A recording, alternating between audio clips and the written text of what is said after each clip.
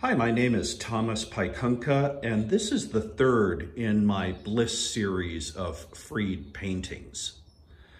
As you can see, this side is made up of tendrils of purple strands with yellow splotches amidst a web of crystal clear strands. It's really a fascinating visual experience.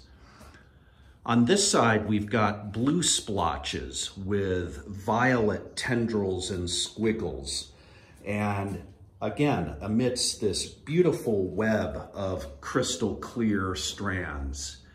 It's Pollock without a canvas, transparent.